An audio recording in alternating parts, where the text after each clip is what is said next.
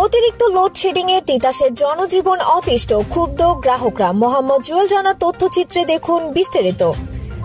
রোদের তীব্রতা, সাথে রয়েছে গরম, চলছে লোডশেডিং অতিষ্ঠ হয়ে পড়েছে কুমিল্লা তিতাস উপজেলার বাসিন্দাদের জনজীবন।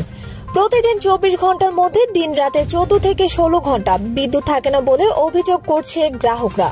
এতে বিঘ্ন হচ্ছে দাপ্তরিক কাজ সহ শিক্ষার্থীদের পড়াশোনা।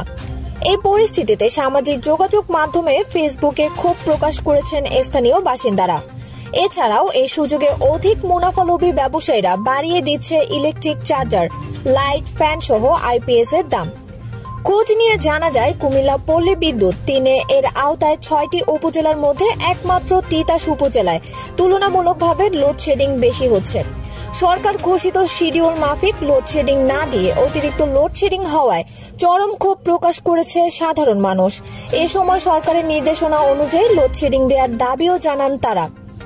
উপজেলার নয়াকান্দি গ্রামের বাসিন্দা মোহাম্মদ শাহজাহান মিয়া, বয়স ষাট। তিনি বলেন, জ্বালানি সাশ্রয়ে সরকারের সিদ্ধান্তকে আমরা স্বাগত জানাই, কিন্তু পার্শ্ববর্তী উপজেলার তুলনায় আমাদের তিতাসে অতিরিক্ত লোডশেডিং দেওয়া হচ্ছে। এতে করে সরকারের ভাবমূর্তি ক্ষুণ্ণ হচ্ছে বলে আমি মনে করি। জগৎপুর ইউনিয়ন ডিজিটাল সেন্টারের উদ্যোক্তা মোহাম্মদ শরীফ আহমেদ সুমন বলেন তিতাসে সরকার ঘোষিত লোডশেডিং সময়ের চেয়ে অনেক গুণ বেশি সময় লোডশেডিং হচ্ছে। এতে করে নাগরিক সেবা নিতে আসা গ্রাহককে ঘণ্টার পর ঘণ্টা অপেক্ষা করতে হচ্ছে। উপজেলা ভূমি অফিস বিদ্যুতের যে লোডশেডিং হচ্ছে, সেই জন্য আমাদের ভূমি সেবা হচ্ছে ডিজিটালাইজ ডিজিটালাইজের কারণে সব কিছুই হচ্ছে আমরা বিদ্যুৎ নির্ভর এবং অনলাইন নির্ভর। অনলাইনে দেখা যায় ওইগুলো প্রিন্ট করতে হয়, খতিয়ান এবং ডিসিআর এই সমস্ত সেবাগ্রহীতারা সেবা যখন সেবা নিতে আসেন, তখন দেখা যাচ্ছে যে বিদ্যুৎ নেই। যার কারণে আমরা এগুলো অনলাইন থেকে প্রিন্ট করতে পারছি না নিয়ম সময় মতো।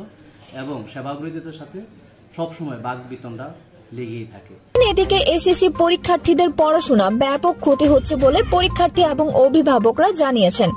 তারা জানান, সন্ধ্যার পর থেকে ঘন ঘন লোডশেডিং এর কারণে পড়াশোনা মারাত্মকভাবে ব্যাহত হচ্ছে। গরমের সাথে অতিরিক্ত লোডশেডিং এর কারণে পরীক্ষার্থীরা পড়াশোনা করতে পারছে না।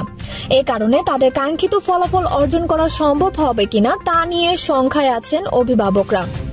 কুমিল্লা পল্লী বিদ্যুৎ সমিতি তিন।